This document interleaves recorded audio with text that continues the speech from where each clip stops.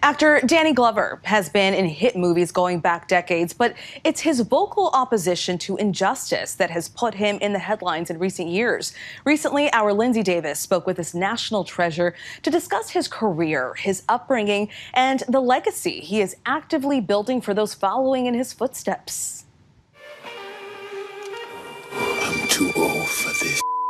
Fortunately for Danny Glover, there's no expiration date on his two passions, acting and activism. Connecting their story to our collective stories of struggle. And that's what we're doing here today. Just over a week ago, the 74 year old fired up the crowd at a rally to support the Asian community.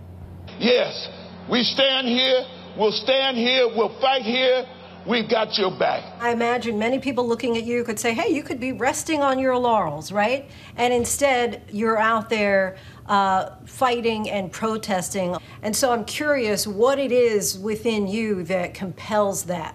I think there's so many, this in all of us. I, that's not just me. His activism is far reaching, from immigration to farm workers to the humanitarian crisis in Darfur. He's been arrested during a labor union protest and appointed a goodwill ambassador for the United Nations. Well, a lot of people are not getting arrested for their beliefs. A lot of people are not uh, spending their precious time out on a, a protest line. But there's a platform. There's a platform that we that I have, you know, as an artist and a citizen. And maybe it's the examples of, of people who said, uh, why can't I not? Maybe it's the story about my grandmother. The beginning sharecroppers when we married in 1915, my grandparents.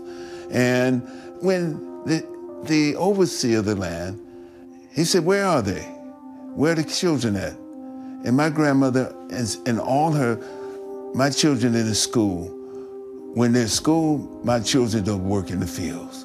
He turned to my grandfather and said to my grandfather, You better teach your woman how to talk to white people.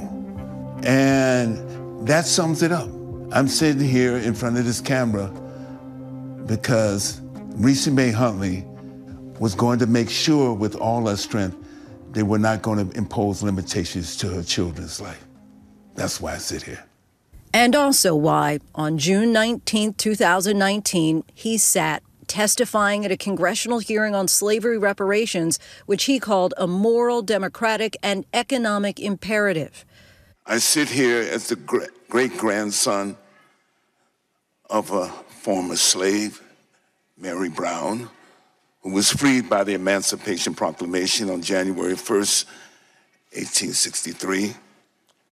Born in San Francisco to postal workers who were also activists, growing up he struggled with dyslexia, which he says only made him work harder. You've described early on dealing with your own diminished expectations of who you could be. How did you get past that? Whatever it was, I, I felt that that there was something else in me and I had people to validate. I mean, about what I could be. Both my parents, they had lived through the, the darkness of segregation. They knew all the things of lynchings and everything else. I saw them as my heroes. How did you get the idea to become an actor? I, I came up with young parents who were involved in movements. If things were happening, there was a kind of discourse around my house. So the anti-apartheid movement brought me to an extraordinary writer named Athol Fugard once I was in his, his play, uh, his early plays, I, I, knew at some point in time that this was the work that I wanted to do. You, of course, have uh, been a stage actor, a screen actor, voice actor, director, activist. Which hat fits you the most comfortably? I love doing films. There's something about magic doing film.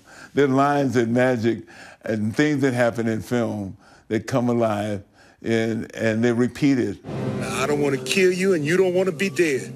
We're working on the film, Jamie Foxx, and when I would come on the set, Jamie would say, here comes, I don't want to kill you and you don't want to be dead. what a great line. According to IMDb, you have acted in more than 200 roles, uh, going from you know Lethal Weapon to Let her go now. to Jumanji I'd love to come in for a cup of coffee. to The Color Purple. I should have locked you up. Is there one that in particular um, sticks with you? Was a favorite role? There's so many, but there's one role that would always be the one that stands out for me, and that was my first major role, uh, where I played Moze in Places in the Heart. It's my gift to my mother and my lineage. It's my gift to my grandparents, um, in a sense, and it'll always be my favorite. The first thing my my grandfather saw when he saw me in the fields, he said, "Boy, what you know about picking cotton?" We finished. We done it. Do people still recite the Celie uh, "Until You Do Right by Me" curse as well? You're poor, you're ugly, you're a woman, you're nothing at all. Till you do right by me, everything you even think about gonna fail. I got that from day one, you know. My grandmother did not know what I did exactly. And, and she found out, they got her to see the color purple. And they said she came out of there hopping mad. She said, I'm gonna get a switch after that boy. He know he was raised better than to act like that. So I had to bring a switch in. She had to hit me with a switch. Treat that woman like that. You know that's some good acting when people are so angry with you acting. oh, baby, she, it, I still think about it and laugh at her now. He's also thinking about making a movie telling the story of the Tulsa Race Massacre in 1921. Tulsa, Oklahoma. You look at like Wall Street. First, there was this amazing uh, a, a collection, group of, of, of entrepreneurs and community, building a community, and all of a sudden in 1921, 100 years ago, it was, it was, it was a massacre and it was burned down. It was rebuilt later, but what happened after that? Well, what would you like your legacy to be? That's an interesting time, thing. Um, I, I, I knew more that I tried to be the best citizen that I could be. Um, I remember Miss Lumber. She's from Beaumont, Texas. And the kids she was teaching were primarily African American. We lived in the housing projects, federal housing projects at the time. And she came in, I remember saying, I'm not simply in the, the business of making good students, I'm in the business of making good citizens. Hi, everyone. George Stephanopoulos here. Thanks for checking out the ABC News YouTube channel. If you'd like to get more videos, show highlights, and watch live event coverage, click on the right over here to subscribe to our channel. And don't forget to download the ABC News app for breaking news alerts. Thanks for watching.